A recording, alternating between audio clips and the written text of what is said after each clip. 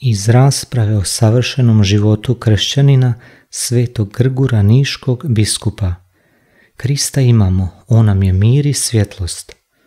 On je mir naš koji od dvoga čini jedno. Tvrdeći da je Krist mir, pokazujemo u čemu je pravi poziv kršćanina, ako po tom miru koji je u nama svojim životom izražavamo Krista. On je uništio neprijateljstvo, kaže apostol. Ne dopustimo stoga ni pod koju cijenu da ono ikada u nama ponovno oživi, već očitujemo da je posve mrtvo. Nemojmo to neprijateljstvo koje je Bog sjajno dokrajčio radi našeg spasenja, na propast svojih duša sada ponovno buditi srđbom i spominjanjem nepravdi. Nemojmo ga ludo oživljavati kad mora biti mrtvo. Budući da imamo Krista koji je mir, dokrajčujemo i mi svako neprijateljstvo, da bismo u svome životu sedili ono što u Kristu vjerujemo.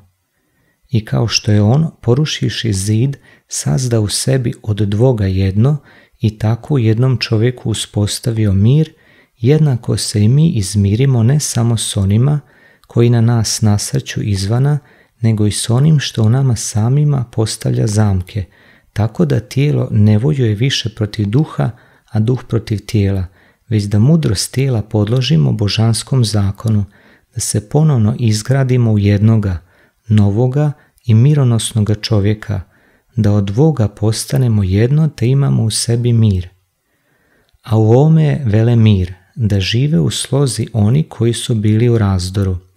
Zbog toga kad je uklonjen unutarnji rat svojstven našoj naravi, gajeći u sebi mir, ostvarujemo mir i očitujemo pravi i vlastiti poziv Kristov koji je u nama. A kad vidimo da je Krist svjetlo istinito, beskrajno daleko od laži, onda smo naučili da je potrebno te i naš život osvjetle zrake pravoga svjetla. Zrake sunca pravde jesu kreposti koje i žaruju da bi nas prosvjetile, kako bismo odbacili dijela tame, te hodili po danu u poštenju, kako bismo prezreli skrovitu gadost, a sve radili na svjetlu, te i sami postanemo svjetlo, pa što je svjetlu svojstveno, drugima svojim dijelima blistamo.